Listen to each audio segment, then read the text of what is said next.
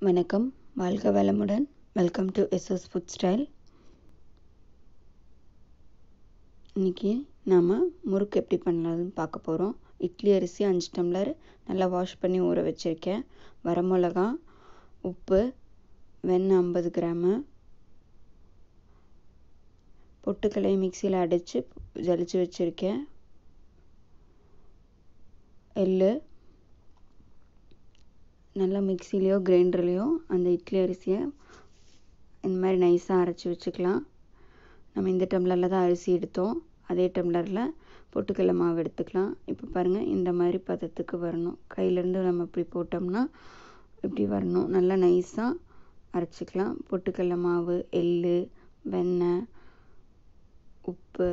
உப்பும் வரமிளகாவையும் நம்ம மாவு அரைக்கும் போதே சேர்த்து அரைச்சிடலாம்.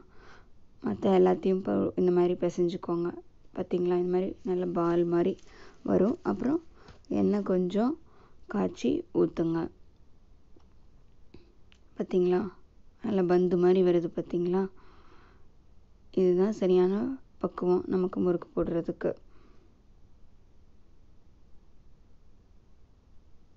நல்லா பிசையணும். அந்த மாவு நல்லா சாஃப்டாகும் பார்த்திங்களா தெரியுதா? நமக்கு ஐஸ்கிரீம் மாதிரி வருதா? இப்போ முறுக்கு இதில் போட்டு நம்ம எப்படி முறுக்கு பண்ணுறோம்னு பார்க்க போகிறோம் இது தீபாவளி ஸ்பெஷல் ஃப்ரெண்ட்ஸ் எல்லோரும் ஈஸியாக முறுக்கு பண்ணி சாப்பிடுங்க. நம்ம டைரெக்டாக அப்படியே வானிலையில் பிழிஞ்சிடலாம். முன்னாடி பக்கம் ஒரு ரெண்டு நிமிஷம் திருப்பி போட்டு ஒரு ரெண்டு நிமிஷம் இருந்துச்சுன்னா நம்மளோட முறுக்கு ரெடி ஆகிடும் அந்த இதெல்லாம் நுரையெல்லாம் அடங்கினதுக்கப்புறம் நம்ம எடுத்துடலாம். நம்ம கலர்ஃபுல்லாக கிறிஸ்பியாக நம்மளோட முறுக்கு ரெடி ஆகிட்டுருக்கு திருப்பி போட்டுக்கலாம்.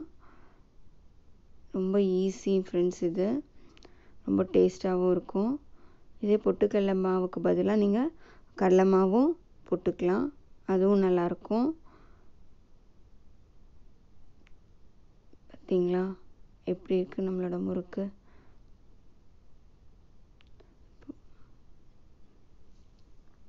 நம்மளோட முறுக்கு ரெடி ஆயிடுச்சு.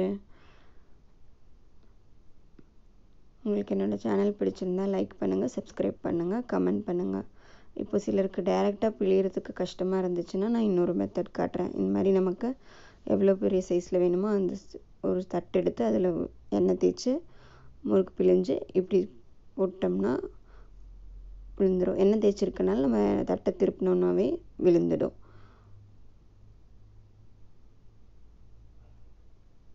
பார்த்தீங்களா நம்மளோட முறுக்கு ரெடி ஆயிடுச்சு. எல்லோரும் தீபாவளி நல்லா செலிப்ரேட் பண்ணுங்கள் ஹாப்பியாக இருங்க.